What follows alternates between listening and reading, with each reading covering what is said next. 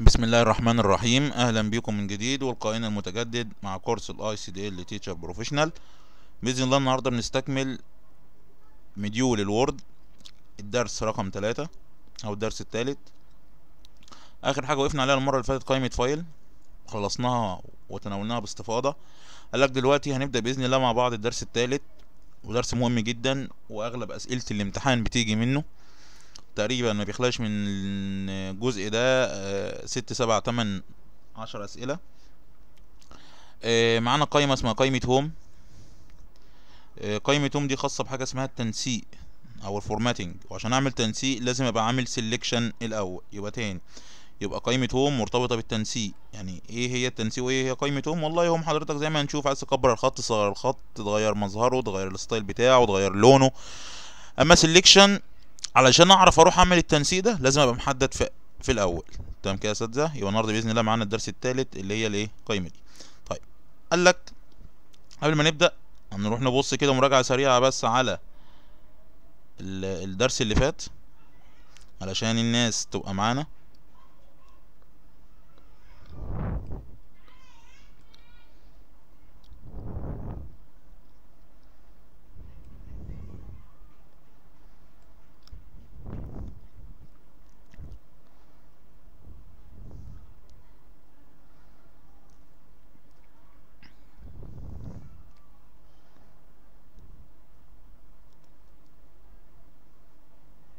قال لك خدنا إيه المرة اللي فاتت؟ قال لك خدنا بالتفصيل قائمة الملف File menu اللي هي قائمة File دي والتي تحتوي على عدد من الأوامر الموضحة بواسطة أيقونات مثل حفظ مثل Save اللي هي الحفظ و Save As الحفظ باسم و Close وهكذا التي يتم تنفيذها مباشرة أو بعد ظهور مربع حواري وتحتوي أيضا على مجموعة ثانية من الأوامر التي تظهر تفاصيلها كما بالشكل الآتي. بص كده وركز معايا ده اللي شرحناه المرة اللي فاتت. قائمة File اهي فيها Save Save As آه، قال لك Open بيستخدم الملف موجود مسبقا. Save و Save As دي للحفظ يبقى اتفقنا Open الملف موجود أروح أفتحه. Close عشان أقفل المستند المفتوح وليس البرنامج. New علشان أروح أفتح ملف جديد. Print للطباعة. ال Option خاصية برنامج ال Office زي ما تن- تناولناها. ال Exit بيغلق البرنامج نهائي وبالتالي بيطلع من الايه من الملف.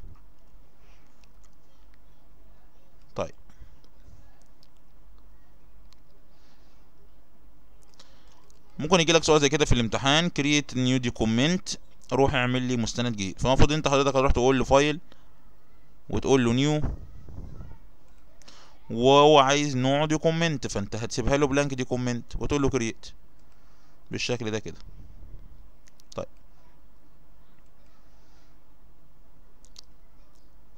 آه وعايز حاجة اسمها ال template وهتروح تختار زي ما اتفقنا. واختصارها إيه؟ Control N تمام؟ طيب الراجل عايز يفتح ملف موجود قبل كده. قال لك هتروح على File تقول له Open وتروح تختار له المسار بتاعك. ايا كان مسارك فين؟ هنقول document مثلا.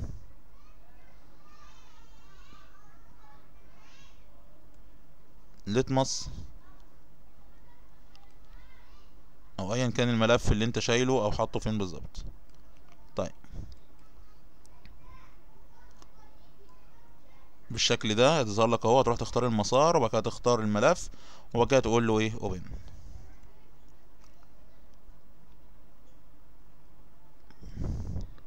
قال لك لو عايز أفتح ال Recent بتاعك أو الملفات بتاعتك هتقول له File Recent هنبدأ حالا بحاجة اسمها التحديد أو هنروح نكتب الأول ونشوف ال Word بيتكون من إيه ونبدأ نحدد على أساسه نبدأ نستخدم قائمة format بالتفصيل. في ملف ال Word اللي لسه فاتحينه جديد. المؤشر الماوس هنا واقف فين؟ قال لك واقف شمال. طيب لو عايز أجيب مؤشر الماوس يمين في قائمة Home كده كده هنمشيهم بالترتيب بس عايز اجيبه يمين شايف العلامتين دول اللي هي في ال group بتاع Paragraph العلامتين دول.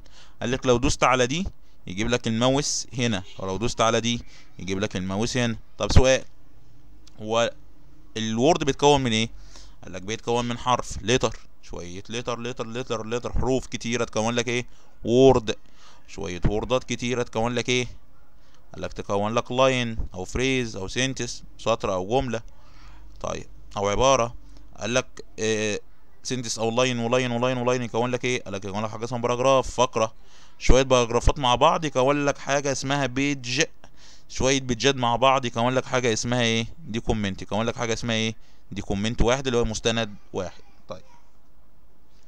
يبقى حضرتك المفروض عشان تروح تعمل ال selection لازم تعرف ان انت لازم تحدد حرف ثم تحدد كلمة ثم تحدد سطر ثم تحدد فقرة ثم الصفحة ثم المستند كله. طيب. وقبل قبل ما تروح تحدد لازم تعرف إزاي مؤشر الكتابة بيكتب أو ما بيكتبش. هو واقف فين؟ يبقى كده مؤشر الكتابة واقف فين؟ قال لك واقف شمال. طب عايز اجيبه يمين؟ اتفقنا من العلامتين دول. طب هو في اختصار في ال keyboard؟ قال لك آه اختصاره؟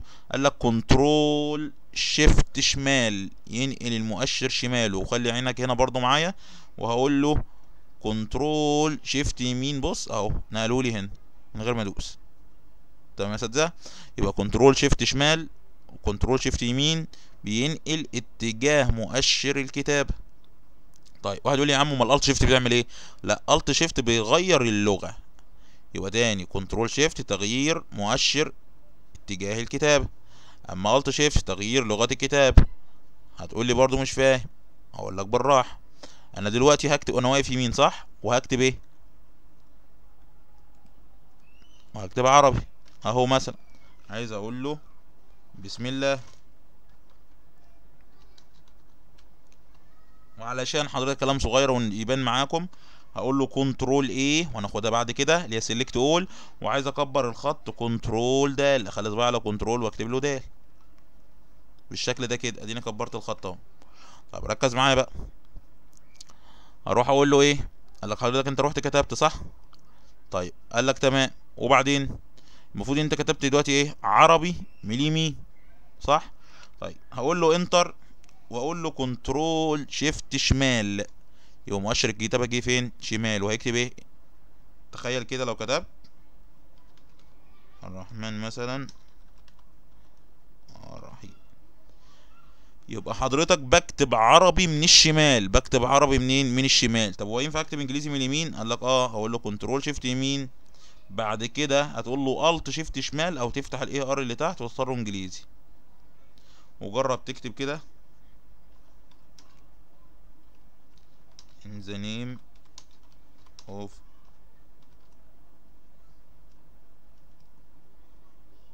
الله مثلا.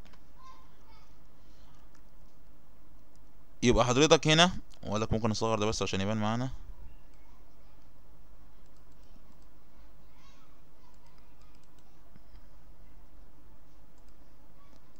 تمام يا اساتذه طيب يبقى كده بكتب انجليزي منين؟ من اليمين وينفع اكتب عربي منين؟ من الشمال طب اللي مسؤول عن ده كله إيه؟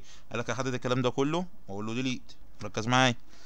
عايز حضرتك انقل مؤشر الماوس؟ هدوس على العلامة دي أو العلامة دي أو control shift في ال keyboard شمال أو يمين طب الحاجة التانية عايز أكبر الخط دلوقتي عشان يبان معايا. اتفقنا control د.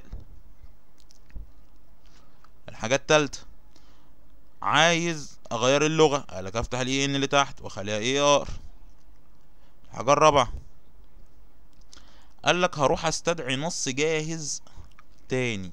هروح استدعي نص جاهز وابدأ أطبق عليه. لا أبدأ أحدده الأول أعمل حاجة اسمها selection وبعد ما أعمل ال selection أبدأ بقى أطبق عليه اللي أنت عايزه كله. طيب عشان أجيب نص جاهز هتعمل إيه؟ قال لك هتكتب ورايا الكود ده بس لازم أبقى بكتب إنجليزي الأول. فهقول له control shift شمال alt shift شمال عشان يغير اتجاه الماوس ويجيبه لك شمال. ثم يجيب لك اللغة انجليزي. فهقول له إيه؟ هقول له الكود ده. هتحفظه معايا. يساوي راند وافتح قوس. وأقول له عشرين comma اللي هي حرف الواو. عشرين واقفل قوس اللي هي shift صفر. ومفيش مسافات. وكله سمول وأقول له enter هيروح جايب لي ملف من ال system بتاعك. هتشوفه ما يخلص عدد ويوصل لكام. قال لك وصل ل 385 تاني. وصل لكام؟ 385 طب ليه؟ قال لك يمكن عشان خط كبير. طب تعالى نصغر الخط. هنخليه مثلا 18 بص ال 385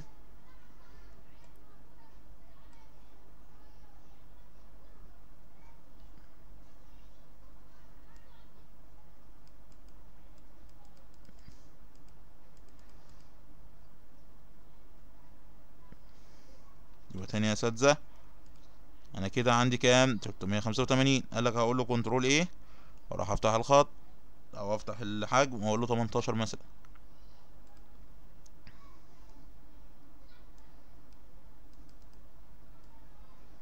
المفروض عندك هتلاقي تدريجيا ال آه، الصفحات قلت أهي زي ما اتفقنا وبقت 31 من 300 بقت كام؟ 31 طب أنت واقف هنا.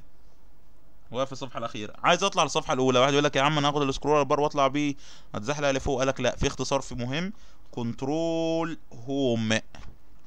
يبقى control home الذهاب إلى أعلى المستند أو لاول صفحة. طب control end الذهاب لآخر المستند. واحد يقول لي أنت عرفت منين؟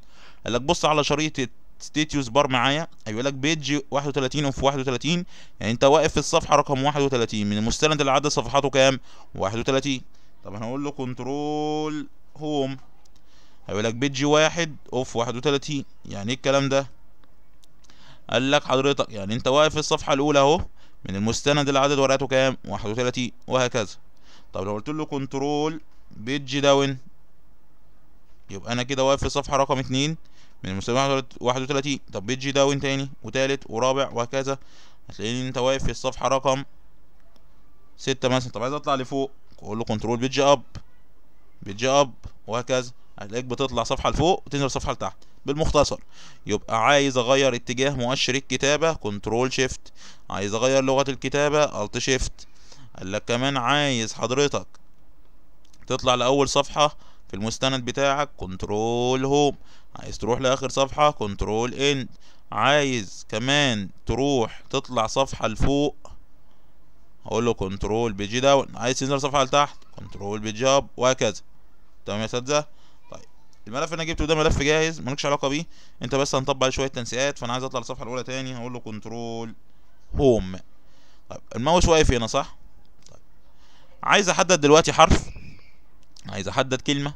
ثم سطر أو جملة ثم فقرة ثم الملف كله. إزاي بقى؟ هتقف شايف المؤشر ده؟ هقف قبل ال O وأقول له click شمال واسحب. سحبيه بسيطة كده هتلاقي حدد لك ال O فأنا كده محدد حرف أو letter محدد إيه؟ حرف أو letter طب في طريقة تاني؟ قال لك آه.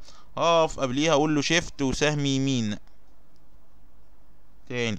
أقول له shift وسهم إيه يمين يبدأ يحدد لي حرف برضو طيب الحاجة التانية.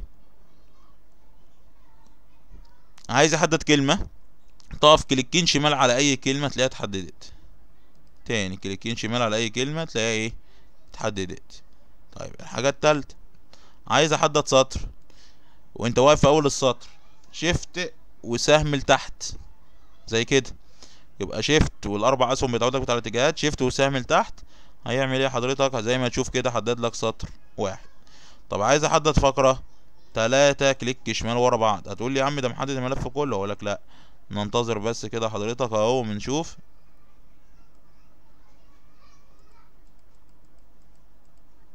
أهو. هتلاقي عند حضرتك هنا إن الفقرة بس الأولى واخدة صفحة وكسر. تمام؟ يبقى تلاقي الصفحة الأولى أهي واخدة صفحة وكام؟ وكسر. هل المفروض إن كده صح؟ قال لك لا. يبقى أنت كده عشان أحدد فقرة تلاتة كليك شمال ورا بعض يحدد لك الفقرة من المرة الأولى. طب الحاجة التانية بما إنها في حصادة السبب تاني. تاني يا اساتذة يبقى زي ما اتفقنا. أنا عايز أحدد فقرة. قلت له 3 كليك شمال ورا بعض. أجي أبص هلاقي إيه؟ هلاقي إن الفقره ممكن تعدي صفحة أو صفحتين. أو ممكن تبقى سطر أو ممكن تبقى كلمة. يبقى بالشكل ده. دي آخر الفقرة هنا. واحد يقول لي عرفت منين إن دي آخر الفقرة؟ قال لك هتلاقي عندك حاجة اسمها dot. شايف ال dot دي؟ وفي مسافة وبعديها enter وبادئ الكلام من سطر جديد. طيب. المفروض حضرتك دلوقتي إنك عرفت إزاي تحدد فقرة. يبقى 3 click شمال إيه؟ ورا بعض. الحاجة التانية يا اساتذه عايز أحدد المستند كله قال لك أقول له control A أو قائمة home آخر حاجة فيها select وهختار select all تمام كده يا اساتذه طيب يبقى أنا كده حددت حرف حددت كلمة حددت جملة أو سطر حددت فقرة حددت المستند كله. طيب قال لك عايز أعمل إيه دلوقتي؟ قال لك عايز أطلع لأول صفحة أول صفحة أقول له control home وركز معايا بقى في اللي هنعمله. عايز أحدد الكلام كله. قال لك control A وأروح منتهى البساطة. لو عايز اصغر الخط وانت وانت محدده يبقى أنا كده محدد الكلام. أنا كده محدد إيه؟ الكلام. عايز اصغر الخط؟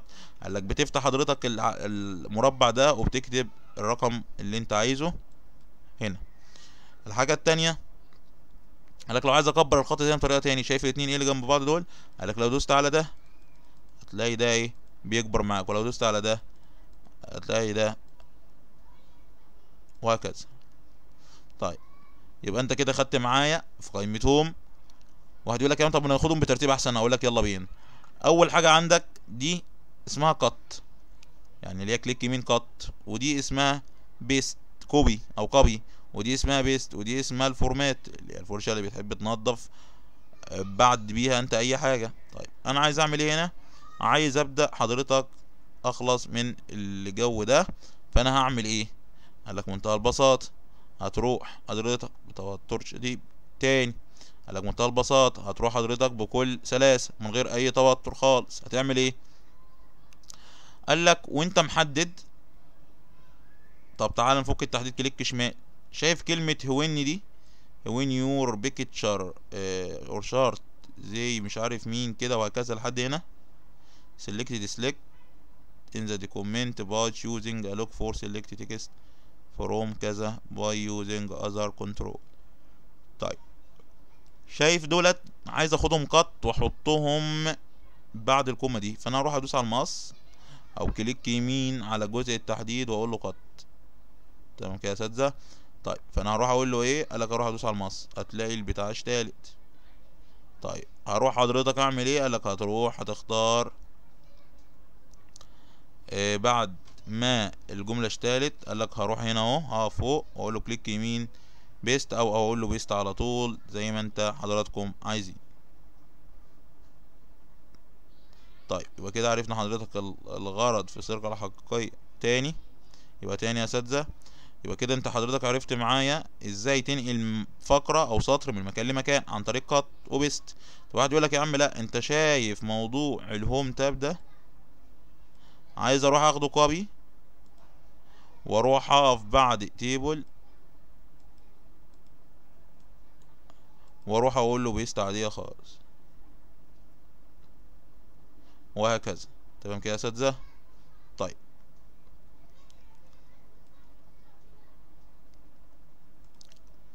يبقى تاني يا اساتذه تاني عشان نلخص الدنيا. حضرتك أهو. هاجي على insert tab دي. أحددها. أهو كده بالشكل ده. ولو رحت قلت له دي بص ده يقول لك إيه؟ copy اللي هي click يمين copy براحتك. في ناس بتستخدمها يمين وفي ناس بتستخدمها من click يمين. دوست عليها كده دخلت copy عايز أحطها فين مثلا؟ قال لك عايز أحطها هنا. هقف وأقول له click يمين paste أو تروح تريح نفسك وتقول له paste على طول. طيب الحاجات التانية. يبقى كده عرفت إزاي؟ بص أدي insert tab أهي. وأدي insert tab أهي بالشكل ده. يبقى خدت إزاي انقلها cut وخدت إزاي نعمل لها copy و paste. طيب واحد يقول لك إيه شايف on دي؟ احددها اتنين click شمال. هروح اخد بقى الجزء اللي جنبيها ونرجع للفرشة دي تاني كمان شوية لأن عليها سؤال في الامتحان. قال لك هدوس على ال B دي لو وقفت عليها من غير ما أدوس هيقول لك bold لو دوست عليها هتلاقي الخط تقل زي ما أنت شايف كده. ومش هتحصل إلا لما تحدد فلازم أعمل selection الأول زي ما قلت لكم. طب اللي جنبيها دي I قال لك بالمناسبة شايف ال B دي لو وقفت عليها من غير ما ادوس يظهر لك bold اللي هي اختصارها control B دي B خفيفة. الحاجة التانية شايف ال I دي لو دوست عليها اختصارها italic أو يجي على الخط مايل اللي هي control I هتلاقي on مالت. يعني إخواتها. الحاجة التانية شايف ال U دي لما ادوس عليها هيحط خط تحت ال on مش بس كده انت لو فتحت السهم تقدر تختار الخط اللي انت عايزه. الحاجة التانية لو فتحت السهم هتلاقي حضرتك آخر حاجة underline color وتروح تختار المود هتروح تختار اللون المناسب ليك وليكن لون الموف مثلا. طيب هتلاقي خط هنا تحت أهو ماله؟ متلون بلون موف. يبقى حضرتك كده رحت عملت الخط سميك أو تقيل وعملت له مائل وعملت له underline طيب وال underline ليه color قالك في عندك حاجة اسمها ABC دي بتحط كلمة بتحط شرطة في نص الكلمة. تحط شرطة فين؟ في نص الكلمة. طيب عندك حاجة اسمها X2 وعندك حاجة اسمها ال X2 اي دي واي دي بمنتهى البساطه دي هناخدها بإذن الله حاجة اسمها لو وقفت من غير ما ادوس subscript ودي اسمها ال superscript وهناخدها حالا. أنا عايز أنزل هنا أهو أقول له enter واطلع فوق. عايز المؤشر يمين وأروح أقلب له اللغة Alt Shift أو من تحت وأقول له AR وأبدأ أقول له حضرتك إلى آتي. كبر له الخط شوية وركز معايا في الأول. س اتنين مسافة زائد مسافة صاد اتنين مسافة بيساوي مسافة خمسة وعشرين. تحتيها هقلب الماوس الجنب التاني وأقول له وأقلب اللغة انجليزي اتش تو مسافة زائد مسافة O two مسافة وهكذا يا اساتذه وأقول له H2O بالشكل ده. المفروض إن أنا عايز أنسق الأرقام دي أو الأس أو المعادلة بتاع الكيمياء أو الرياضة وهكذا. فالمفروض إن أنا هعمل إيه؟ قالك المفروض حضرتك إن أنت هتروح تقول له إيه؟ قالك هروح أقول له الاتنين دي هحددها أهو. وأروح حضرتك شايف اللي دي. لا تعالى ناخد اللي فوق الأول. هحدد الاتنين نفسها دي بالشكل ده. وأروح أقول له على الأس بتاع ال sub superscript. superscript بيعمل إيه؟ قالك بيرفع لك الأس اللي فوق هدوس عليه click شمال أهو. واحدد دي. وأروح أدوس عليها تاني click شمال بالشكل ده. طيب تعالى معايا على ال H2 دي معادلة الكيمياء. هدوس عليها وأقول له إيه؟ subscript المرة دي أهو. وهكذا هروح آخد الاتنين الباقي. وأروح أقول له subscript وهروح هنا حضرتك أقول له برضو بنفس النظام. وعرفت كده إزاي تكتب معادلة رياضة وازاي تكتب معادلة إيه؟ كيمياء. بالمناسبة انت ممكن تروح تقول له insert shapes لما نيجي ناخد insert بإذن الله هتلاقي عندك حاجة هنا تحت اسمها اهو. ادي يعني دي حرارة يعني وكمان إيه؟ في نفس مكانها. تمام كده يا اساتذة طيب وعرفنا حضرتك إزاي انزل الاس وارفع الاس وازاي اعمل معادلة كيميائية بسيطة. يبقى تمام كده يا اساتذة يبقى عرفنا إزاي نضيف راجل أو نضيف آه المعادلة دي ونعمل معادلة أصلا للكيمياء. تمام. طيب الحاجة التانية إيه؟ المفروض كده انت خدت البي والاي واليو والاي بي سي والاكس هات. قالك احدد الكلام كله وهبقى انقل معاكم واتابع معاكم خطوة بخطوة زي ما نشوف دلوقتي. بنستكمل مع بعض الشرح بتاعنا في الجروب الأول أو في قائمة هوم في الجزء الخاص بفونت. خدنا من شوية البي والاي واليو والاي بي سي والاكس 2 والاكس 2 قالك في عندك حاجة اسمها الاي دي أروح محدد الكلام بتاع أو ان تاني. بالشكل ده. وأروح أفتح دي. قالك دي خاصة بال styleات بتاع ال font. styleات بتاعة الايه ال font أو حاجة بيسموها ال quick style هذا بالشكل ده يا اساتذه قالك أكبر ال zoom شوية أو أكبر الخط عشان تبان معاكم. اهو لو فتحت ال A تاني دي حتى لو وقفت عليها اسمها text effect تأثيرات النص دي خاصه بالتأثير أو ال styleات جاهزة على الكلمة لو أنت حبيت تستخدمها في شغلك العادي لكن في الامتحان ما بيسألش فيها. أنا عشان أرجع في كلامي وأرجع الكلام لنفس حجمه قال لك الشريط اللي فوق ده اسمه اسمه ال title bar في إيه عندك؟ في السهم اللي هو ال save بتاع ال disk إزاي أحفظ؟ أو Ctrl S أو عندك ال undo وال redo. إيه الفرق بين الاثنين قالك ال undo لو وقفت عليه هيقول لك Ctrl Z لو دوست عليه بيرجع خطوة لورا. بيتراجع عن آخر خطوة. طب مرة تاني آخر خطوة. مرة تاني الخطوه اللي قبليها. وهكذا وهكذا وهكذا لحد حضرتك ما يرجع لك أو إن للوضع اللي كان عليه. أما لو دوست على السهم اللي عكسه بيطلعك خطوة لقدام. نفس النمط أهو لحد ما يخلي لك. يعني واحدة بتمشي لورا واحدة بتمشي لقدام. فأنا هدوس على الاندو أو كنترول زد من الكيبورد براحتك لحد ما يرجع لي أون زي ما هي. طيب وأخدنا كده الاكس بتاع تكست افكت عندك بعديها ال ab القلم ده. القلم ده بيعمل إيه؟ قال لك القلم ده حضرتك بيدي لون لأرضية الكلمة. تاني بيدي لون لأرضية الإيه؟ الكلمة. طب أروح محددها تاني. وهفتح القلم ده. لو قلت له no color بيشيل اللون بتاع أرضية الكلمة. يبقى أنا محدد الكلمة؟ أو مش شرط الكلمة الحاجة اللي أنت محددها. واحد يقول لك يا عم طب أنا هروح أحدد له لحد ال dot دي. وأروح أفتح القلم وأدي له لون هقول لك اللون اتاخد لأرضية الكلام اللي أنت محدده. تمام كده؟ طيب واحد يقول لك يا عم أنا هروح محدد برضو الكلام أهو. هروح محدد مثلا الكلام اللي بعديه وليكن لحد تاب مثلا. وأروح أديله لون تاني. ينفع؟ قال لك آه مفيش مشكلة. وليكن مثلا اللون عشان يبقى واضح معانا. اللون ده. يبقى كل حاجة أنت محددة ممكن تديها لون عادي جدا. مفيش أي مشكلة فيها. طب واحد يقول لك يا عم أنا عايز ألغي الألوانات دي كلها أحددهم كلهم أهو وأدوس على القلم وأقول له no color هيشيل لك اللون. طب هرجع تاني أحدد أون هروح حضرتك فاتح القلم اللي قبلها دي. أو ال ab دي كان اسمها إيه؟ اسمها text highlight color تاني اسمها text highlight color يعني بيعمل لون لأرضية الكلمة. طيب ال A دي اسمها إيه؟ font color ال A دي اسمها إيه؟ font color بتعمل إيه font color قال لك أفتح السهم واختار أي لون.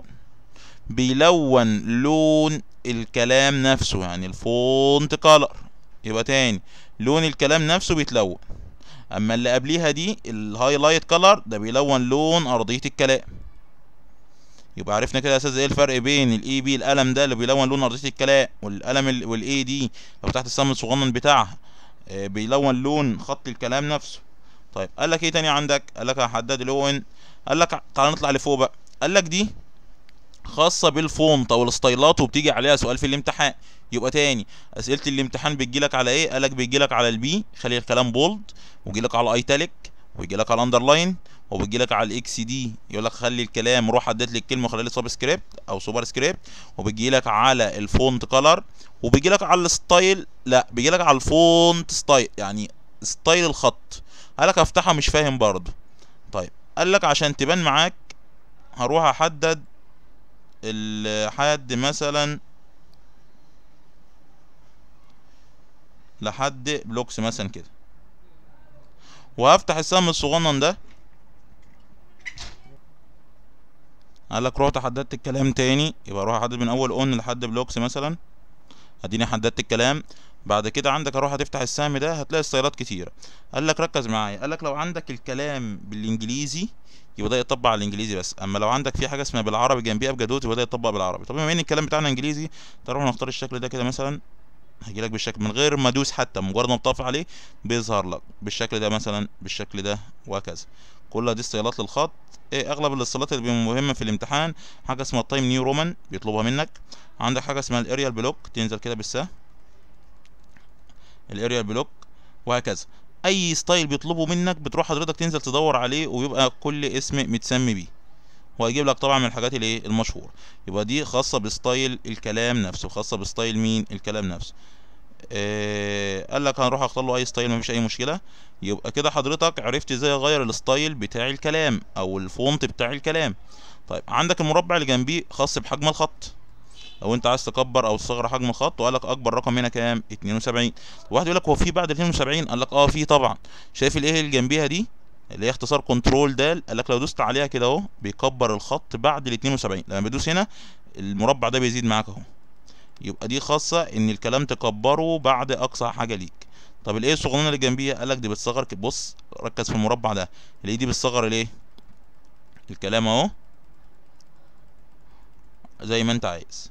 طب واحد يقول لك هو أصغر حاجة عندك هنا كام؟ 8 صح؟ طب هو في أقل من 8 قال لك إيه؟ آه في. لحد ما يجيب لك ليه؟ واحد أهو. يبقى دي حضرتك بتأثر على المربع بتاع النص. تستخدم دي في الامتحان مفيش مشكلة. تفتح السهم وتستخدم دي مفيش مشكلة.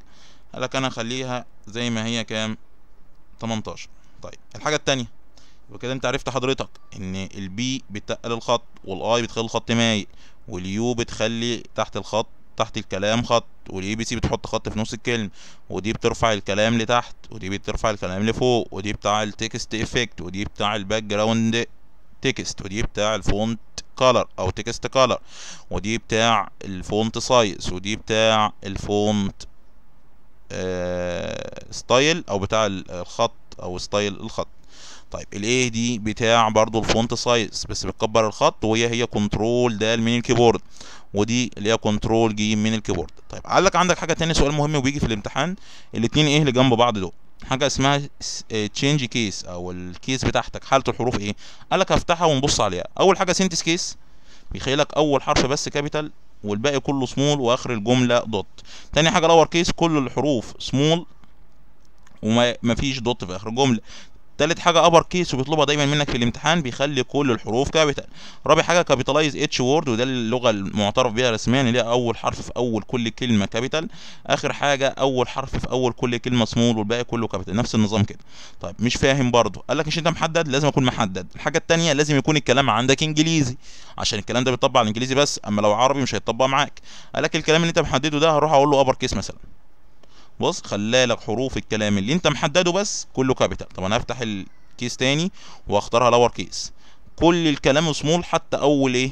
حروف في كل كلمة. طب أنا هفتح دي مثلا وأخليها capitalize أول حرف في أول كل كلمة capital طب أنا هفتح دي مثلا وأخليها toggle بص أول حرف في أول كل كلمة سمول وكله capital وهيحط لك خطوط حمراء كتيرة إن معنى الكلام ده كده غلط سواء كان grammar أو كتابة أو تنسيق. فأنا هفتحه وأخليها مثلا lower case هيخلي لك كل الحروف سمول وهكذا. طب sentence case هيخلي لك بس أول حرف في الجملة عندك أو في الفقرة هو اللي capital يبقى بيطلب منك في الامتحان ال sentence case بتيجي منين؟ ركز من قائمة home الاثنين اللي جنب بعض بتختارها وبالمناسبه الحاجات دي أو الأسئلة دي ممكن يطلبها منك في ال PowerPoint برضو عادي لأن أصلا ال PowerPoint ما هو إلا Word زائد شوية إضافات بسيطة جدا. يبقى التنسيق أو الشرح ده هو هو إياه موجود في ال Word بنفس النظام. طب أنا أروح أخليها مثلا capitalize each word مثلا. ونثبت على كده. طيب قال لك عندك الأستيكة اللي بعديها.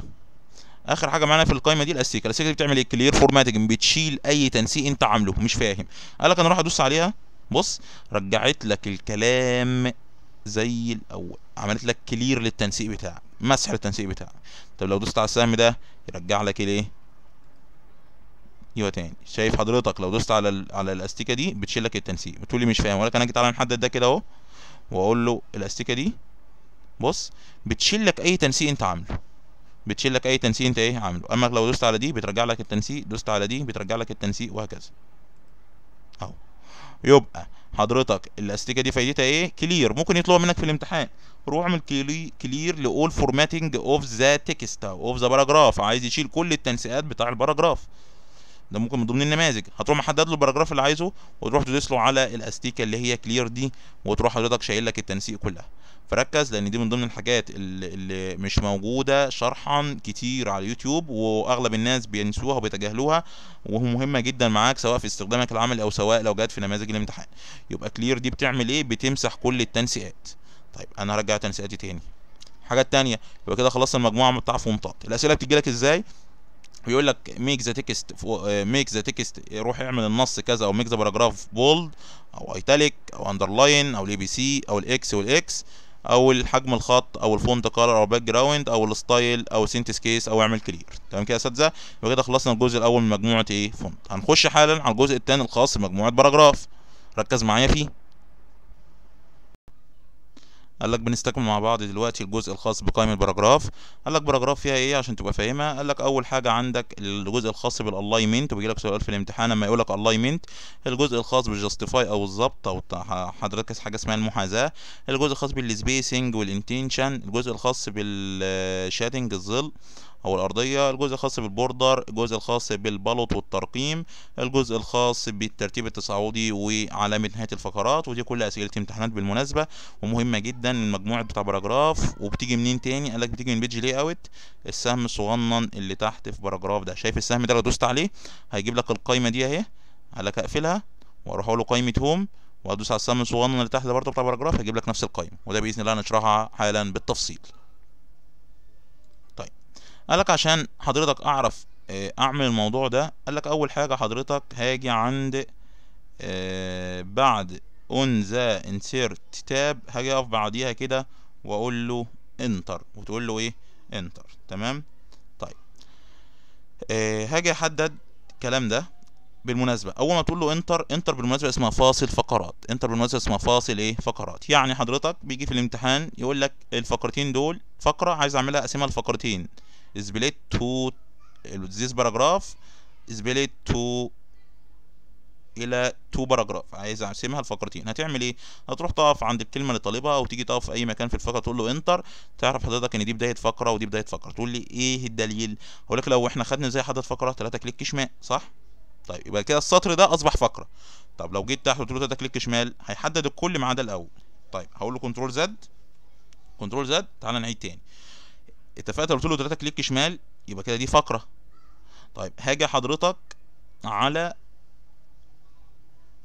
قبل إزاي أقول له enter أجي أحدد السطر الأول أو 3 click شمال أو أحدد الفقرة كلها يحدد لك السطر الأول بس. ليه؟ لأن enter قال لك من بعد أنت ما دوست كل اللي قبليك فقرة وكل اللي بعديك فقرة. طب مش مصدق هقول لك يا عم تعالى عارف ده galleries دي؟ هقف بعديها أهو.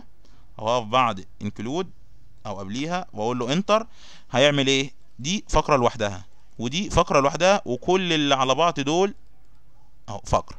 يبقى enter اسمها فاصل فقرات. طيب هتقول لي يا عم أمال لو أنا حبيت أنزل سطر في نفس الفقرة هقول له shift enter أهو shift enter تقول لي إيه الدليل؟ مش ممكن دي تبقى enter؟ واحد يقول لي يا عم طب أنا ما هي عادي أنا ممكن أقف هنا أقول له enter enter. ما هو نفس المسافة نفس المسافة. هقول له لأ لو دوست ثلاثة click شمال هنا بص بص اللي حصل. خد لك المسافة اللي انت عملتها من ضمن نفس الفقرة اللي انت واقف فيها. عكس هنا يعني هنا لو جيت دوست ثلاثة click شمال يحدد لي السطر ده بس. لأن enter هنا عملها كأنها فقرة مستقلة. أما حضرتك لو جيت وقفت هنا مثلا قلت له shift enter.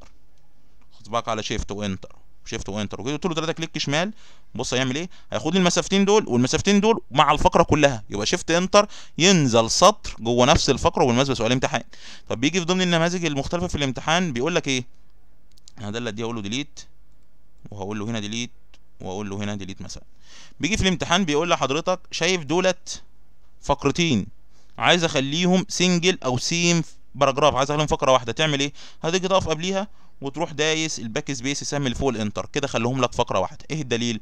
لو جيت حددت 3 click شمال يحدد لك معاهم الفقرات اللي أنت عملت لها دمج. أو بيعمل حاجة اسمها merge يبقى في merge للفقرات بيعمل إيه؟ بتيجي تقف قبل الفقرة الثانية أهو وتروح تعالى.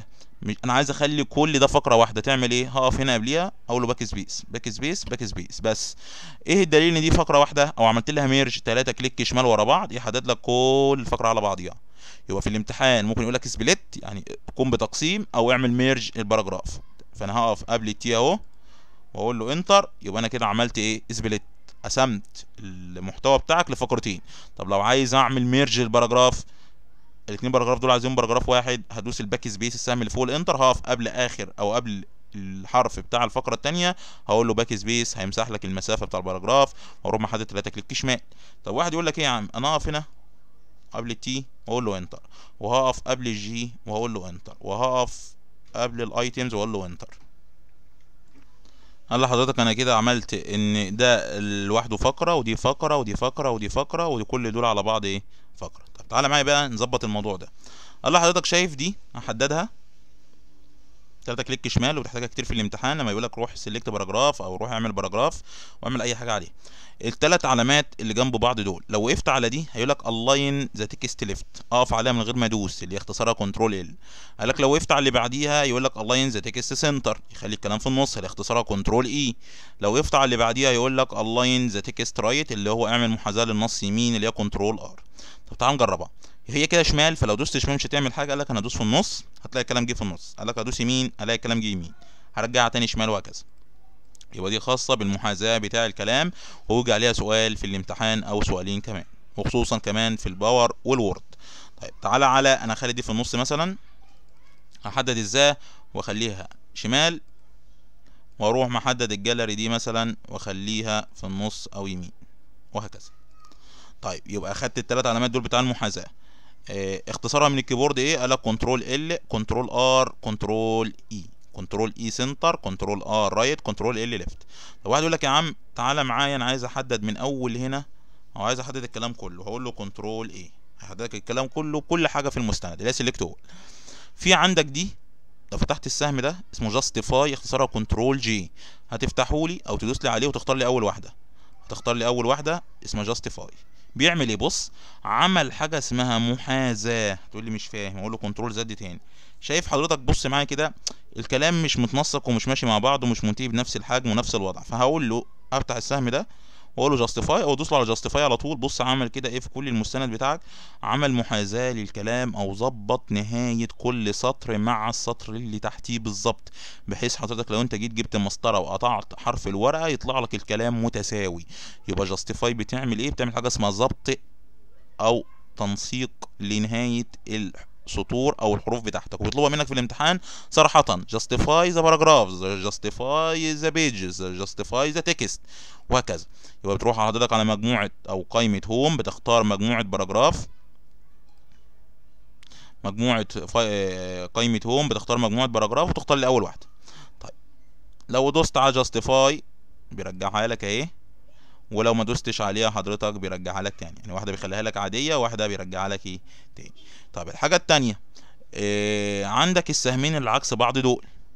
ده سؤال بيجي مهم عليهم في الامتحان جدا. سؤال بيجي عليهم مهم في الامتحان إيه؟ جدا. وإيه سؤالهم بقى؟ قال لك دي حاجة اسمها line أو spacing between line تاني اسمها spacing between line يعني المسافة بين السطور. هتقول لي مش فاهم. هفتح السهم بتاعهم أو click شمال عليه. دي اسمها single دي اسمها double دي اسمها وهكذا. طيب واحد يقول لك يا عم هعرف منين دي single أو دي أو دي double أو هكذا؟ هو بيجي في الامتحان بتبقى أنت عارف إن ال spacing between line اللي هي السهمين دول. تقول لي لا مش فاهم. أقول لك طب تعالى معايا. هتختار لي حاجة اسمها line spacing option أول ما هتختارها لي جات لك القايمة دي. طب هقفلها دلوقتي. أجيبها منين القايمة دي تاني؟ شايف السهم الصغنن اللي في قايمة home في مجموعة paragraph السهم ده هدوس عليه. هجيب لك نفس القايمة. طب إيه هي الطريقة الثالثه هروح له page layout وأروح أدوس له على السهم الصغنن برضو اللي في قائمة paragraph هنا. click شمال عليه هيجيب لك نفس القائمه فلك مطلق الحرية. أنا أروح على قائمة home وبحب أجيبها أنا من هنا وأقول له line spacing option كل واحد والطريقة اللي هيفتكر بيها أو بيحب يحل بيها. جات لي القايمة دي. فاكر حضرتك الأربع حاجات اللي إحنا عملناهم دلوقتي اللي هي كان اسمها الواحد أو ال single. تعالى اقفل دي كده ثواني. لما دوست على السهمين دول لما دوست على السهمين دول عكس بعض جالك جالك هنا الواحد والواحد وربع والواحد ونص والاثنين واثنين ونص وثلاثة إيه اللي حصل؟ بص كده ركز معايا على اللي بيحصل. مش دي حروف أو دي النص اللي عندك. لما أقول له مثلا ثلاثة هتلاقيه بعد لك بين الكلام والسطر والسطر اللي تحتيه. وبالمناسبة المسافة دي مش مش enter. لا دي حاجة اسمها spacing between line المسافة دي مش إيه مش enter طيب. أنا هدوس له على السهمين عكس بعض وأروح أختار له حضرتك line spacing option وهروح حضرتك أفتح السهم. بص line spacing أهي اللي بقول لك عليها. هفتح السهم ده. أدي ال single اللي بيطلبه منك في الامتحان. أدي واحد ونص line أدي ال double at least exactly multiply وهكذا. حسب ما يطلب منك في الامتحان بتختارها له. ممكن اختاره منين؟ لو أنت حضرتك عارف أو حافظ الترتيب تمام جدا دي اسمها single بتبقى معروفه طيب بتيجي أعرف منين دي single بص أنا هخليها أهو واحد. خليتها واحد أهو في علامة صح اتحطت إيه عليها. أنا هخليها دلوقتي تلاتة. وأروح أقول له السهم الصغير اللي هنا تحت ده مثلا. وأروح أفتح السهم ده وأخليها single وأقول له okay تعالى كده افتح السهم هتلاقيه اتعلم لك على واحد أوتوماتيك. أهو. يبقى اعرف إن واحد دايما single تمام كده طيب يبقى تاني يا اساتذه عرفت حضرتك معايا إن السهمين اللي عكس بعض دول خاصين بالمسافة بين السطور؟ وعندك الواحد والواحد وربع والواحد ونص والاثنين والاثنين ونص والتلاتة هي هي اللي هنا دول. لو قلت له line spacing option وفتحت له حضرتك ال line spacing دي هيجيب لك هم هم هنا بس بالمسميات اللي بيطلبها منك في الامتحان. فزي ما انت عايز. دي بنفس الترتيب اللي بره بالمناسبة. يعني حضرتك أول واحد كان عندك واحد سنتي اللي هي حاجة اسمها ال single تاني واحد الواحد ونص line هي هي الواحد ونص تالت حاجة ال double فتبقى انت حافظهم بالترتيب. أغلب حاجات في الامتحان بيطلب منك ال single والواحد ونص وال double دي أغلب حاجات. طيب هقول له إيه؟ okay على أي حاجة مش هنختلف دلوقتي. طيب الحاجة التانية بيطلب منك هنا برضو بنفس القايمة دي هفتح السهم ده وأقول له لاين طب بلاش نفك التحديد بتاع الكلام الأول. وأروح مثلا على الفقرة اللي اسمها ودي مثلا كده فقرة. أنا عايز أقف هنا أهو وأقول له انتر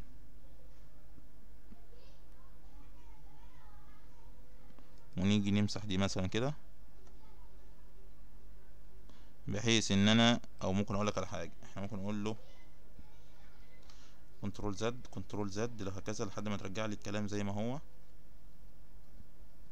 بحيث عشان الناس ما تتوهش معانا وخصوصا الناس اللي بتطبق معانا هرجع control Z أفضل أدوس control Z لورا لورا control Z وهكذا. control Z control Z وهكذا.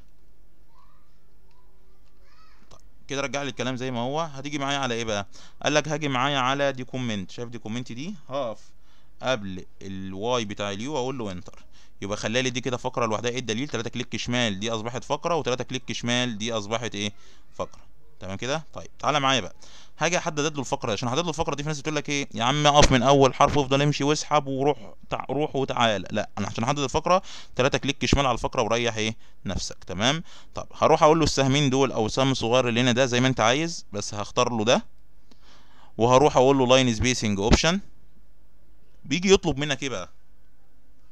بيجي يطلب منك سؤال على الجزء بتاع ال indentation وهيتعاد معانا تاني في ال page layout وسؤال على الجزء بتاع ال spacing المسافات أو المسافة بين السطور. يبقى ال indentation دي خاصة بالهوامش أو حاجة اسمها المسافات البادئة. بتعلمها إزاي؟ سؤالها في الامتحان لما يقول لك indent أو لما يقول لك space. لما يقول لك indent أو indentation المسافات البادئة اعرف إن هي المسافة اللي بره بداية السطور اليمين والشمال. طيب أما المسافة اللي اسمها spacing دي المسافة فوق وتحت اللي هي بين السطور. طيب قال لك سؤال دلوقتي بيجي لك في الامتحان على ال spacing روح change the spacing أو change the text spacing before 6 كذا 6 point وهكذا حسب ما يطلب منك. طب هنا بيجي لك سؤالين في الامتحان. سؤال روح غير before خليه 6 أو 12 والمناسبه المعدل بتاعك هنا 6 أو سؤال أو نفس السؤال برضه بس بيطلبوا منك after طب إيه الفرق بين الاثنين قال لك لو كلام إنجليزي وقال لك before the text أو beginning text يبقى اعرف إن هي 4 أما لو كلام عربي وقال لك after بتختاره after أما لو قال لك صراحة إن هو عايزها after بتختارها له after من ال spacing اللي هنا طيب أنا راح اختار أقول له okay هتحس إن مفيش فرق معاك. طب تعالى معايا تاني كده أقول له سهمين وأروح أقول له line spacing وخلينا مثلا نزود ال after دي مثلا 24 وأقول له okay. بص في مسافة زادت عندك هنا أهي لو أنت لاحظتها. طيب تاني. هدوس على السهمين العكس بعض السهم الصغنن اللي هنا ده مثلا. وأروح اخلي دي بدل 24 مثلا. أو حتى بص هنا في الشاشة اللي تحت دي بتبان معاك أصلا. بص لما بزود بص بص الكلام هتلاقيه بيبعد. أهو. الكلام بيبعد. طب أنا هقول له okay دلوقتي. ركز عينك هنا معايا. أول ما أقول له okay هتلاقي الكلام بعد. دي, دي شوفي دي دي مش مسافة. دي مش enter قصدي. دي مش enter دي مسافة بين السطور. بس مش بين السطور كلها لا ده بين ال paragraph وال paragraph اللي تحتيه. حسب ما يطلب منك إيه؟ في الامتحان. يبقى حضرتك هروح محدد له ال paragraph بتاعي 3 click شمال. وأروح أقول له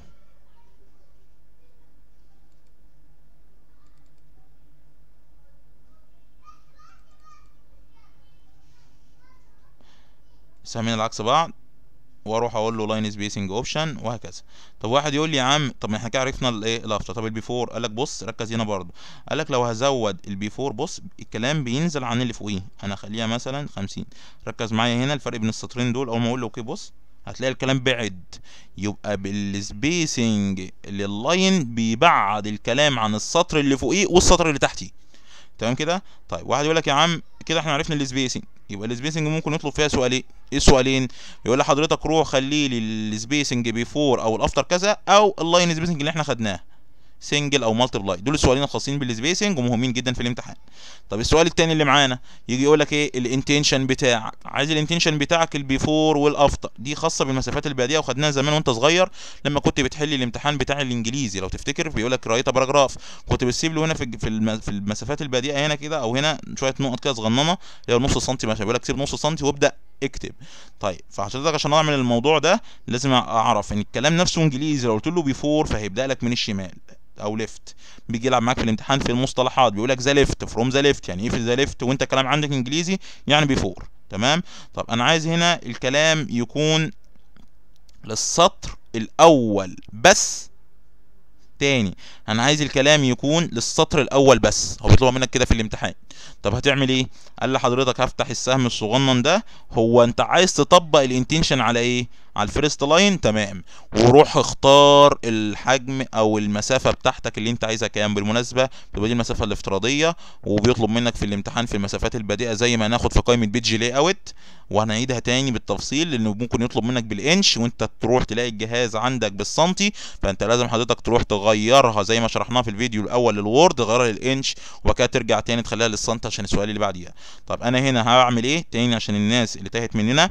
أنا رحت حددت الفقرة وقلت السهم الصغير اللي هنا تحت ده وجيت بعديها حضرتك رحت قلت له أنت عايز تطبق مسافات بادئة اللي هي ال indentation على إيه؟ على السطر الأول بس هفتح السهم ده وأقول له first line وبتكتب الرقم اللي طالبه منك أول ما أقول له OK بص هتلاقي إن السطر الأول بس اتعمل معاك مسافة بادئة قدرها 1.27 سم تمام كده يا اساتذه طيب قال لك هدوس على السهم ده برده بيبقى ده السؤال الثاني في الجزء بتاع ال indentation. بيجي لك سؤالين في ال indentation وسؤالين في ال spacing. سؤالين في ال spacing واحد على after أو before والثاني على ال line spacing اللي هي إيه؟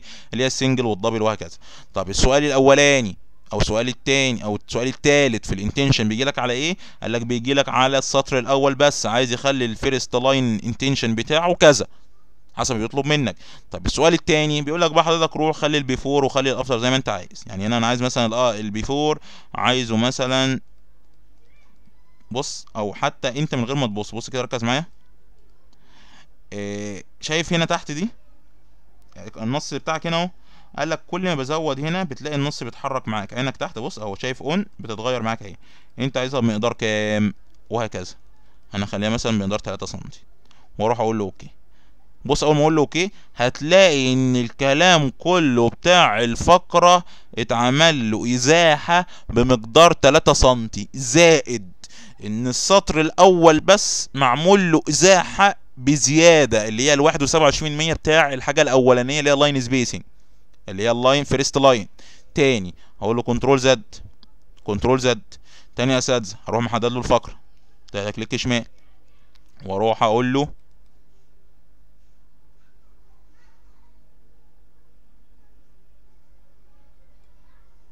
تلاتة كليك شمال وأروح أقول له إيه السهم السهمين العكس بعض دول مثلا. واقول له line spacing option طيب ركز معايا بقى تاني. لو قال لحضرتك السؤال عايز على ال spacing هيقول لك أنت عايزها before ولا after براحتك جدا. دي أنا بغير أهو. طيب هقول له OK يبقى كده رجعت الكلام زي ما هو. السؤال التاني بيطلب منك spacing between line يبقى أنت عارف إن دي ال single تمام مش عارف تجيب line spacing option وبتروح تختار له حسب ما بيطلب منك. single أو أو أو أو أنا هختار له مثلا double وأقول له OK بس ده هيطبق على الكلام اللي أنت محدده بس هيطبق على الكلام اللي أنت محدده بس. الحاجة التانية هروح أدوس على السهم الصغير اللي هنا. أقعد بقى أشوف الأسئلة أو هنشوف دلوقتي الأسئلة بتاع ال indentation؟ بيجي لك سؤالين في ال indentation. إيه هما؟ عايز للسطر الأول فقط مسافات بادئة أو أعمل له إزاحة. هتفتح السهم ده وتقول لي first line وتختار الرقم اللي أنت عايزه. بص ركز معايا على السهم أو الشاشة العرض اللي تحت اسمها preview اللي هي ال on. أول ما تفتح وأقول له first line هتلاقي on بس اللي اتغيرت. اول ما أقول له OK بص on بس اتغيرت بمسافة 1 و27 طب وأنت محدد برضه هدوس على السهم الصغير اللي تحت بتاع paragraph ده وهروح أقول له يا عم أنا عايزك تعمل لي مسافات بادئة وإزاحة لكل السطور بتاع الفقرة ال before اللي هي left بمقدار كام؟ هقول له بمقدار واحد سنتي. هقول له OK تركز معايا هنا كده. هقول له OK بص هتلاقي ان في واحد سنتي اتاخد من عند الكل لكن ده كان فيه واحد وسبعة وعشرين من مية سنتي في الأول قبل ما نروح نختار الواحد سنتي. تمام كده؟ عرفنا قصة ال indentation سؤال مهم وبيجي في الامتحان. لازم أول حاجة أعرف الملف اللي أنا واقف عليه اسمه إيه. تاني حاجة أروح محدد له الفقرة اللي طالبها. تالت حاجة عايز أعرف هو عايز السطر الأول ولا عايز الفقرة كلها؟ آه وهكذا. تمام يا اساتذه ده الجزء المهم في ال indentation. الحاجة التانية سؤال مهم برضو في الجزء ده عشان نخلص منه حاجة اسمها ال tab بيقول لك روح حدد الفقرة دي مثلا. تلاتة كليك شمال. حددت الفقرة. آه عايز يعمل لها tab. وإيه هو ال tab؟ هو أنا هشرحه لك الأول وبعد كده هقول لك إيه قصته. طيب هاجي هنا. هقول له file. new. وأروح أقول له create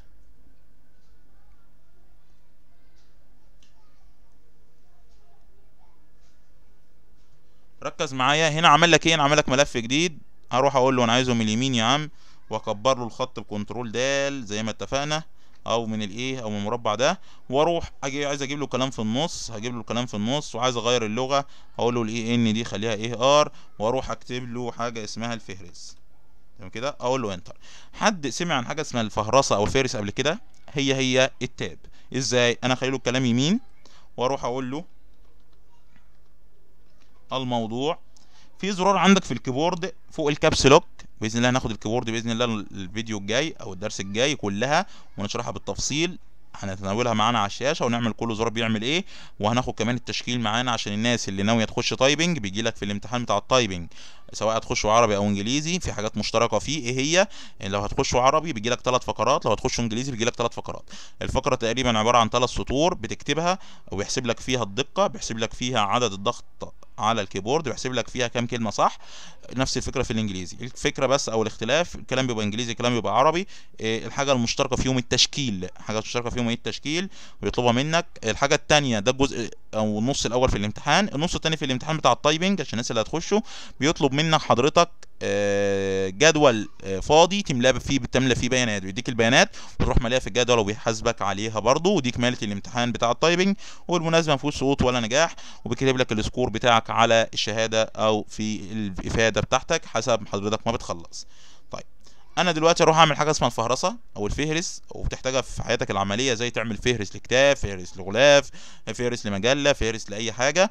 آه، بس في الامتحان ما, بي ما بيتناولهاش أو بيطلبها منك بالشكل ده بس أنا عشانك تفهمها الأول وبعد كده لما نروح نعملها هقول لك دي بتتعمل كده. طب أنا رحت كتبت الفهرس في نص السطر ورحت خليت المؤشر يمين وكتبت له الموضوع. في زرار في الـ keyboard فوق الـ caps lock اللي بيخلي الحروف كلها capital اسمه tab عليه سهم رايح جاي. أول ما تدوس عليه بياخد لك مسافة صغننة. شايف المسافة دي؟ هو ده اللي قصده عليها في الـ tab. طب أنا همسح؟ وعايز أروح أظبط الـ tab هنا بقى زي ما بيجي لك في الامتحان. هروح أدوس على السهم الصغير اللي تحت ده. هتلاقي عندك تحت حاجة اسمها tabs هدوس لي عليها هيجي لك الشاشة دي. بيقول لك انت عندك المعيار بتاع التاب كام؟ 1.27 وعندك الكلام يمين والنوع التاب بتاعتك نون. طب أنا هقول له مثلا هنا أنا عايزه 15 سم مثلا. 15 يعني إيه 15 سم لأن الوحده عندك هنا سم ممكن يقول لك بالإنش على حسب ما يطلب منك في الامتحان. ورايت لأن أنت بتكتب اليمين أما لو أنت حضرتك واقف في الشمال في النص أو واقف في الشمال حسب ما يطلب منك. طب الحاجة الثانية أنت عايزه نون قول له ماشي. أول حاجة هتعملها تقول له ست وهتلاقي الرقم نزل لك تحت أقول له okay طيب انت واقف هنا. أول ما أقول له tab بص هياخد مسافة قدرها 15 سم ويقف لك هنا وأقول له رقم الصفحة. وأقول له رقم الإيه؟ الصفحة. هتقول لي يا عم الكلام مقسوم. هقول لك ماشي أنا ممكن أحدده كده أهو. وأروح أمسك المسافة أو أروح على page layout. وهقول له الـ margin اللي هو مش اللي هناخدها بإذن الله الدرس الجاي أو اللي بعد الجاي. وأروح أقول له خليها لي narrow هنشوف هيظبط الكلام ولا لأ.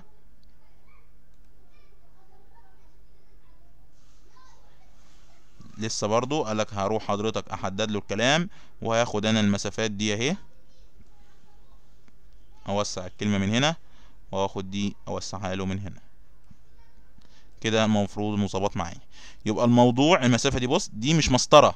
دي مش مسطرة دي حاجة اسمها تاب. طب تقول لي اعمل مسافات إيه؟ قالك لما هاجي بعد رقم صفحة أقول له إنتر هكتب له الباب الأول وهقول له تاب هيروح حاطط لك بعديها هقول له رقم واحد. الباب أو الموضوع الأول وأقول له تاب رقم اتنين وهكذا. طب واحد يقول لك يا عم طب افرض إن أنا عايز أغير قال لك بسيط هتروح حضرتك. هقول له هنا الباب الثاني مثلا. وأروح أقول له قائمة هوم وأقول له سم صغير اللي تحت وأروح حضرتك. هقول له tabs وهقول له يا عم أنا عايزها 15 برضو خليها right بس أنا عايز النمط ده. أنا عايز النمط ده. هروح أقول له set وبعد كده okay. هتروح حضرتك هنا. أول ما أقول له tab بص هيحط لك النمط ده وتقول له رقم ثلاثة وهكذا. طيب يبقى تاني يا اساتذه تاني عشان بيطلب منك في الامتحان. بيطلب منك روح اعملها مش طبقها.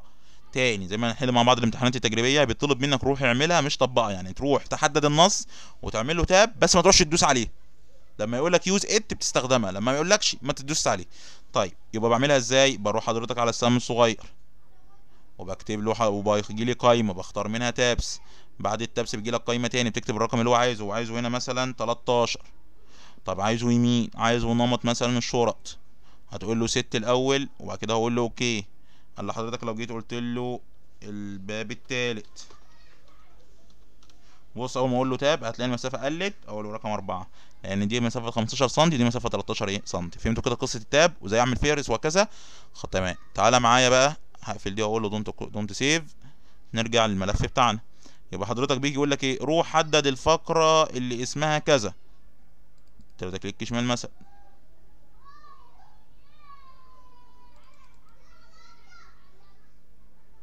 بالشكل ده. أنا عايز الفقرة بتاعتي تنتهي مثلا عند look هاجي قبل الـ y دي واقول له enter. طب شايف الفقرة دي؟ احددها اهو. عايز اعمل لها tab left خلي بالك tab left مقدار خمسة سنتي. هدوس سؤال في الامتحان هدوس على السهم الصغير اللي تحت. وأروح أقول له tab. هو عايزها left صح؟ تمام. اهي left. عايزها مقدار كام؟ خمسة سم اكتب له خمس. عايز ما بيطلبش منك شرط في الامتحان. عايز تسيبها زي ما هي ماشي. عايز تديها style ماشي. دي بتاعتك. هقول له set الأول وبعد كده هقول له okay. بس ده الاجابه على السؤال ده في الامتحان. لكن لما يقول لك use it تروح تدوس له tab اللي في الـ keyboard. أما يقول لك use it تدوس له tab اللي في الـ keyboard. ما قالكش ما هتدوس. ركز. ما قالكش ما هتدوس. تمام يا اساتذه دي بالنسبة للجزء الخاص بايه بالـ indentation والـ spacing ومهمه وبيجي عليها 3 4 أسئلة في الامتحان. الجزء الثاني آه بيجي عليه سؤال في الامتحان. خاص بالحدود للنص والأرضية بتاعته. بيجي يقول لك روح حدد الفقرة زي اللي إحنا محددينها دي مثلا اللي بتبدأ بكذا وتنتهي بكذا وروح اعمل لها border outside أو اعمل لها all border outside واعمل لها shading أو back color هتعمل إيه؟ قال لك هتدوس على السهم الصغنن اللي هنا ده. لو طلب منك في الامتحان اعمل لها outside border هتفتح السهم هتلاقي عندك حاجة اسمها outside أهي. لو قال لك inside تختار له inside لو قال لك all تختار له all لو قال لك عايز حدود bottom بس أو top بس أو left بس أو right بس وهكذا. طيب أنا أروح أختارها له زي ما يطلبها منك في الامتحان مثلا outside هتلاقي حضرتك إن الكلام كده غلط. تاني إن كده غلط. ليه كده غلط؟ كده هو ما عملش حدود للفقرة وكده عمل حدود لكل سطر. فأنا هقول له control z هو اللي فوق. أمال إيه الصح؟ أنا هقول له حضرتك 3 click شمال. وأروح أدوس له على السهم ده.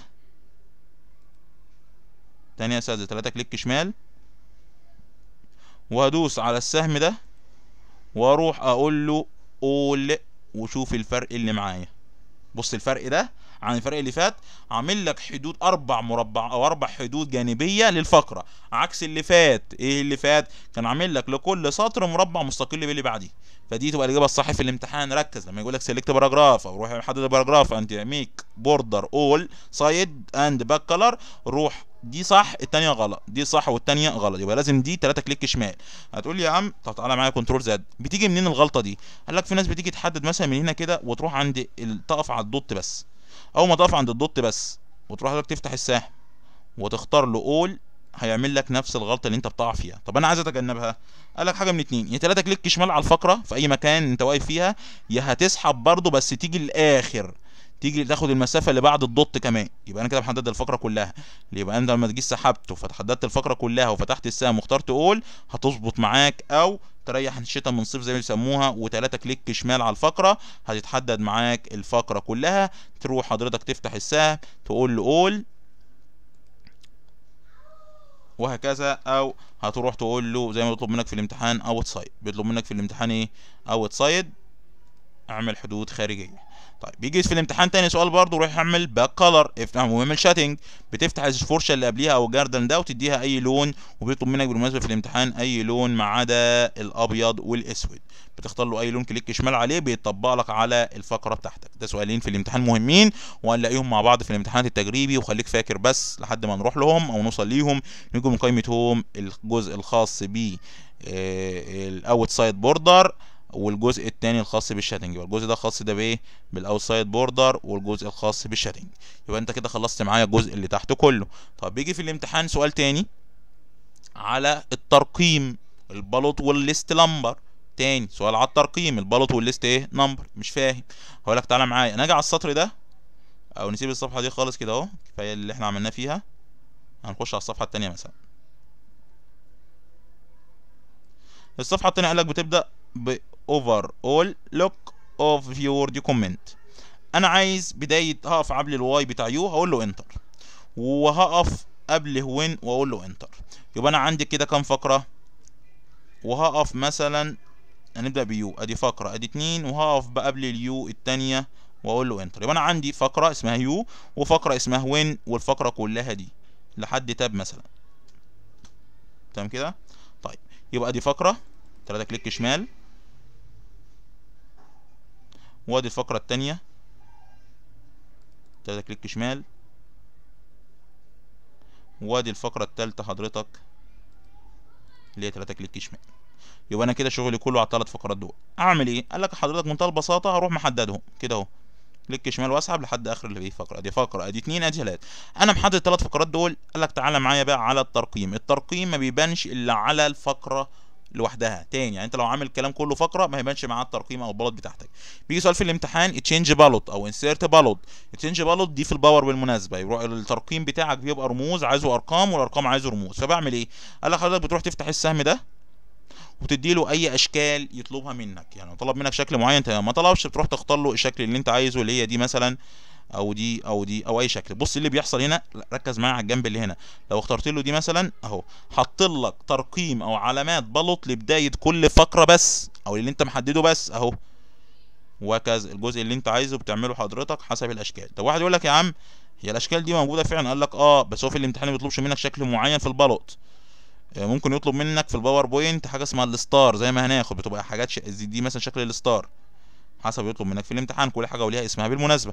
طب واحد يقول لك يا عم أنا أجيب الرموز الحلوة اللي أنت جايبها دي منين؟ قال لك هقول له define new bullet وهناخدها في قائمه insert بالمناسبة. وهتقول له symbol ويروح فاتح لك قائمة تختار منها الرموز اللي أنت عايزها وتختار الفونتات اللي أنت حابب تشتغل عليها وبناء عليها بتستدعي الرموز بتاعتها. بيجيب لك القائمة دي أهي. الرموز دي بتيجي من حاجة اسمها symbol الرموز دي بتيجي من حاجة اسمها symbol فيها الأشكال دي كلها تطلع فوق تختار هتلاقي الأسهم وهكذا. أدي الأشكال بتاعتك. تمام يا اساتذه طيب. هقفل له Cancel يبقى في الامتحان بيقول لك روح حدد الفقرة دي أو روح حدد الكلام كله واعمل فقرة. أو اعمل تح... أو اعمل bullet للفقرة. هتحدده وهتدوس على السهم الصغير اللي هنا ده وتختار لي أي شكل يعجبك. وليكن شكل القلب مثلا. طيب سؤال في الامتحان بيقول لك إيه؟ change the أو make bullet أو change the bullet to number list عاي أول ما تسمع number list اعرف إنها الترقيم.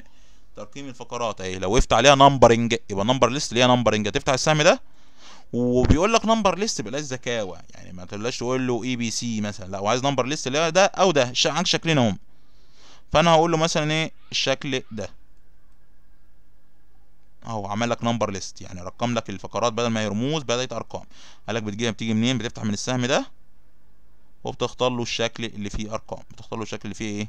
أرقام. تمام يا اساتذه دي هي number list ودي برضو number list بس كله ده خاص بال number list دي خاصه بال number إيه؟ list طيب يبقى أنا كده خدت إزاي أرقم الفقرات وإزاي إزاي أرقم الفقرات رموز وإزاي أرقمها أرقام. طب قال لي يا عم أنا عندي فضول أعرف إيه اللي بقى دي. قال لك دي خاصة بحاجة اسمها المواضيع الفرعية.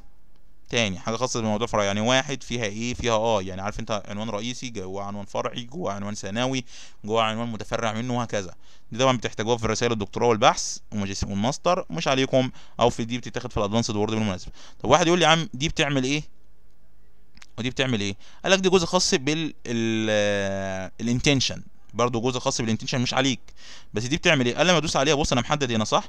دي بتعمل حاجة اسمها decrease indentation يعني تقليل المسافات. ودي بتعمل حاجة اسمها increase indentation. بمعنى طب تعال ندوس على دي. وركز معايا في الكلام. إيه اللي بيحصل؟ الكلام بيبعد صح؟ بيزود لك مسافة المسافات البادئة. طب ودي بترجع لك المسافات البادئة وهكذا. تمام إزاي يبقى واحدة بتعمل increase وواحده بتعمل decrease وانت كده كده أصلا شرحناها من السهم الصغير ده اللي هو أصلا خدناه بالتفصيل الجزء الخاص بالإيه؟ بال indentation اللي عندك هنا سواء كان السطر الأول أو الكلام كله.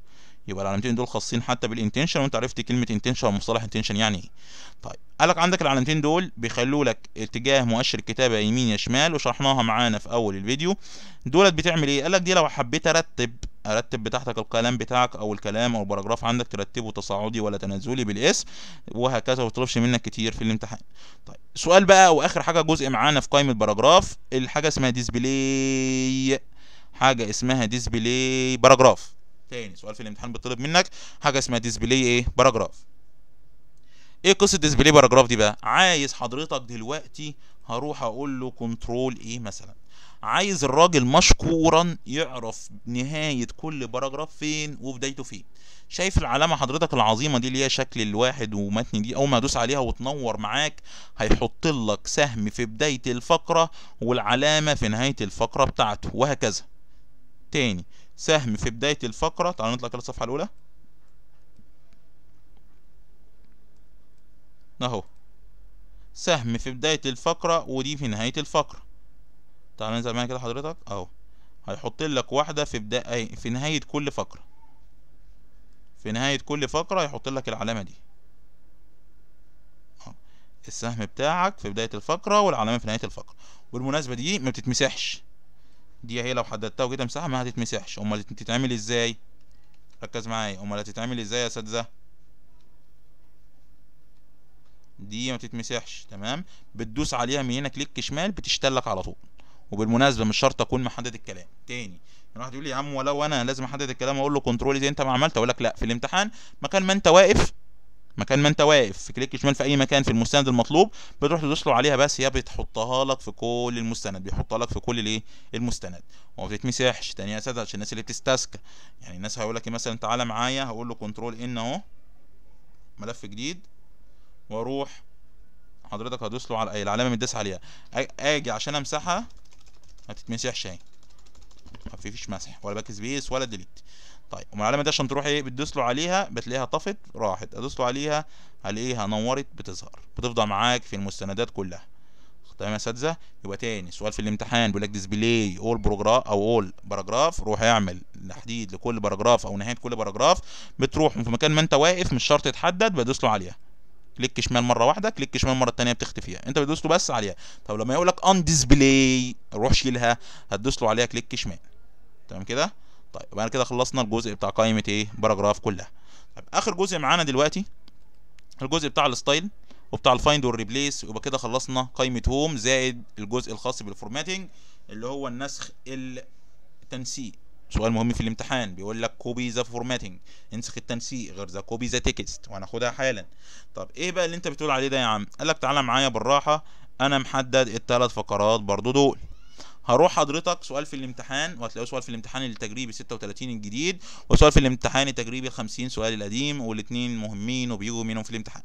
بيقول لك دي حاجة اسمها ال style بتاع ال font أو ال text. تقول لي يا عم أمال إيه دي؟ دي هقول لك لا ده شكل ال font بس. لكن ال style ده ده فيه شكل وفيه لون وفيه حجم وفيه لون وفيه أرضية وفيه underline بص لما تيجي تقف على كل حاجة كده ركز على الكلام اللي انت محدده. كلام اهو متاخد آه ليه font ومتاخد ليه حجم ومفيش أي تنسيق فيه دلوقتي. طيب بص لما تدوس على كده شال لك الترقيم وكده وهكذا. طب ال title مثلا التنسيق اللي اسمه title أنا مجرد ما بقف ما بدوس بشوف الأول وبعين بيخلي لك الكلام نفس اللون. طب ودي؟ بيخلي الكلام باللون ده. طب ودي مثلا؟ بيحط لك تحت. يعني شايف ده ستايلات جاهزة. إيه هو ال style؟ قال لك ال style بمنتهى البساطة هو حاجة خاصة بمجموعة تنسيقات جاهزة. عبارة عن font و color و underline و bold وحجم وهكذا. عكس دي دي اسمها font بس. يبقى سؤال في الامتحان بيجي على ال font بس. وسؤال في الامتحان بيجي على ال style. طب إيه أشهر الستايلات اللي بيجي عليها؟ strong بيقول لك روح طبق لي الكلام ده على strong دوس على click شمال. فتلاقيه طبق لك على strong أو بيقول لك مثلا روح حدد لي الفقرة دي مثلا وأروح أقول له السهم الصغير اللي تحت ده ويجي يطلب منك مثلا quote أو quote أهو. بتلاقيه بالشكل ده يبقى ده شكل الكود شكل ال strong وهكذا. حسب ما بيطلب منك في الامتحان بتختار. بتلاقي الأسامي دي موجودة فين؟ بتلاقيها موجودة تحت. يعني دي اسمها title دي اسمها subtitle دي اسمها subtitle بتقف عليها الاسم بيظهر لك دي اسمها كود دي اسمها strong دي اسمها intense وهكذا. حسب ما بيطلب منك في الامتحان بتختار. تمام يا اساتذه دي الجزء الخاص بال style وسؤال أو سؤال مهم معاك في الامتحان. طيب آخر جزء معانا النهارده وجزء قبل الأخير معاك ال find وال replace وال select ناخدهم من تحت لفوق. لو عايز أعمل select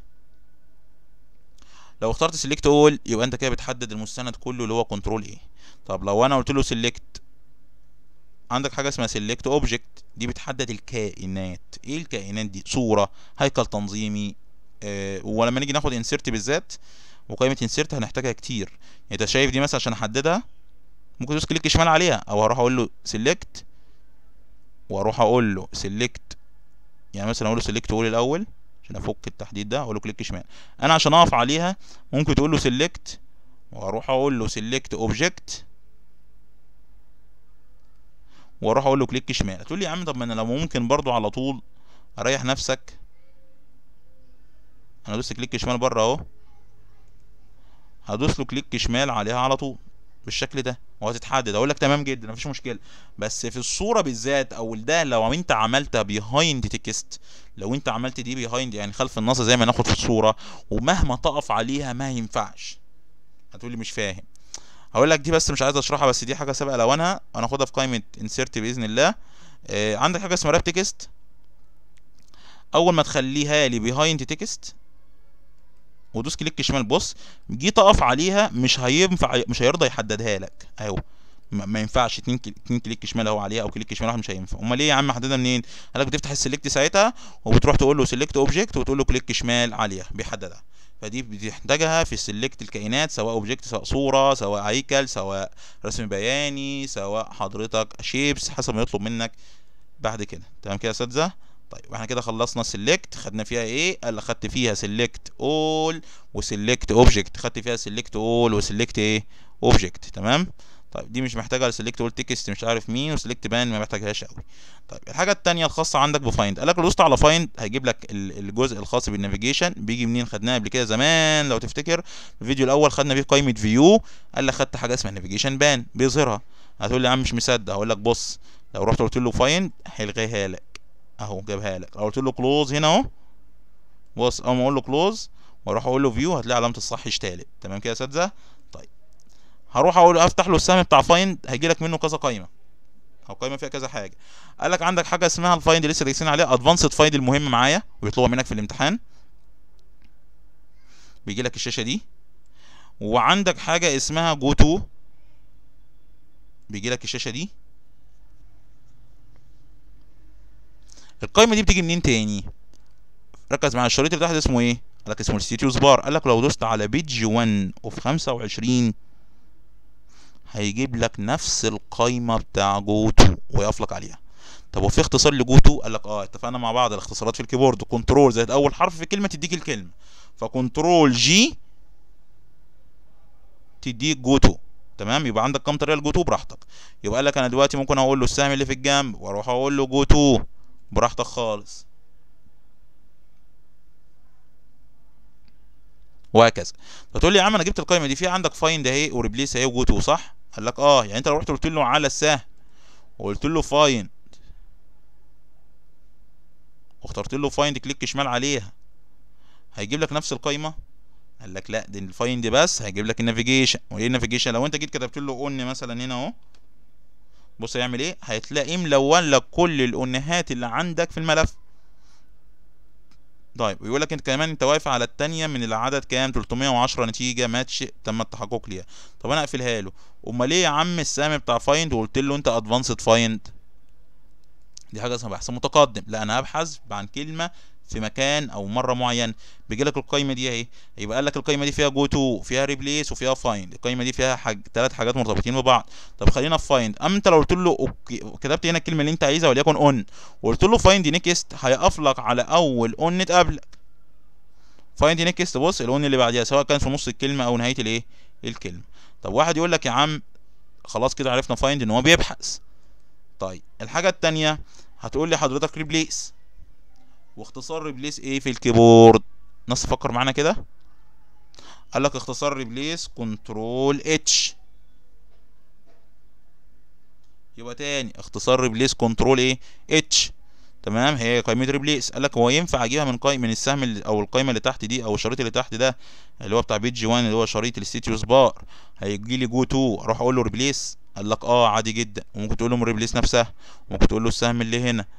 وتختار لي جو 2 وتختار لي منها replace لك مطلق الحرية. لكن في الامتحان يفضل تحل كل حاجة بالحاجة اللي طالبها. يعني هو عايز find هتفتح لي السهم وتقول لي advanced find. عايز replace هتختار لي replace عايز go to تدوس عليها من هنا وتدوس على السهم وتختار لي go to براحتك. طب تعالى على replace عايز يستبدل. بيجي يطلبها منك في الامتحان. أما يقول لك إيه هنا في سؤالين في replace سؤال بيقول لك استبدل كلمة بكلمة. Remove the text with text. يعني استبدل نص بنص. فبتكتب له النص اللي عايز يمسحه هنا والنص اللي عايز يستبدله بيه هنا. وليكن on هقول لها welcome مثلا.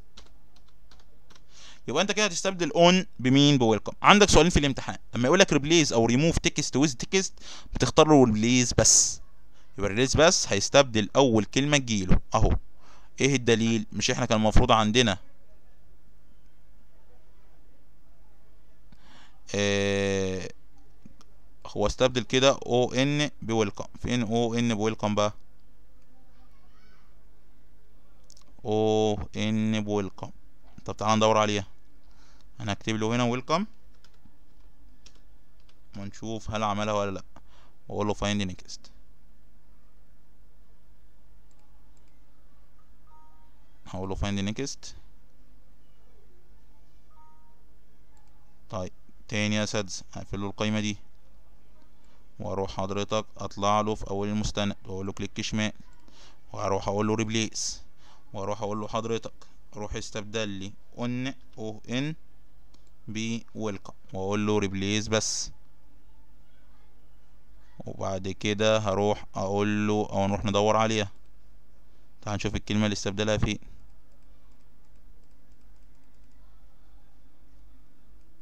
هقول له control H وبعد كده هروح أقول له find دور لي على كلمة ويلكم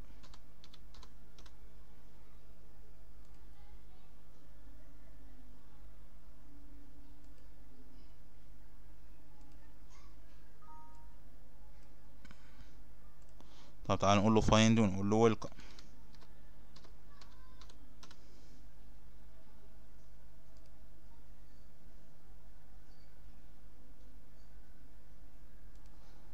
تعال نشوف كده أهو.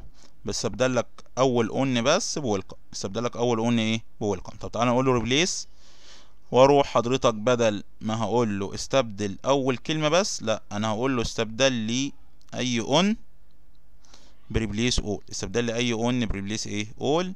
هيجي لك دلوقتي إن في 309 كلمة هيستبدلهم. لأن أنت استبدلت لي كام؟ مرتين. هقول له ماشي. وأروح بعد كده هتروح تدور على أي on ما تلاقيهاش هتقول يا عم إيه الدليل؟ هقول لك منتهى البساطة.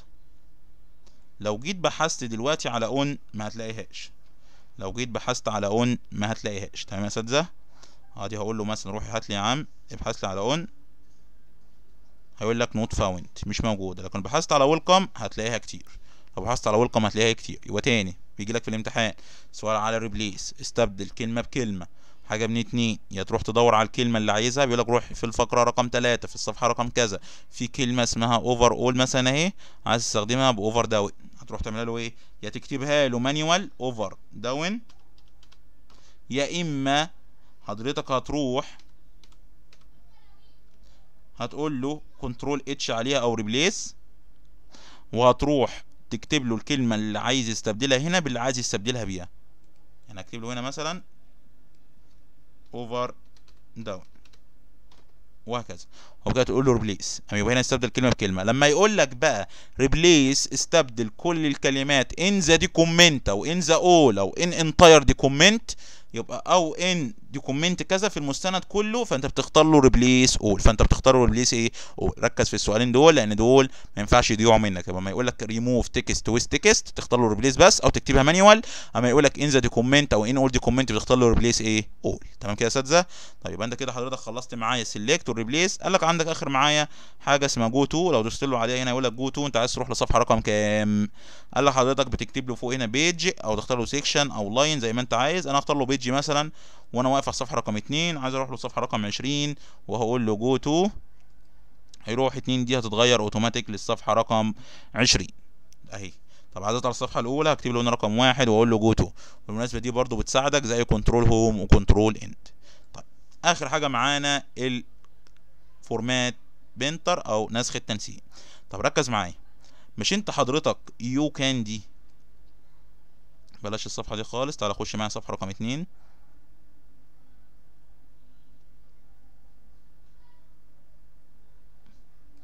دي welcome دي أكيد كان مكانها on أنا هحدد له welcome وأروح أعمل ليها تنسيق bold و italic و underline وأديها لون وأديها أرضية كمان أو text highlight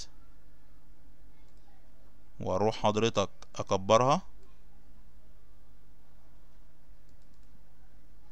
وأروح أديها font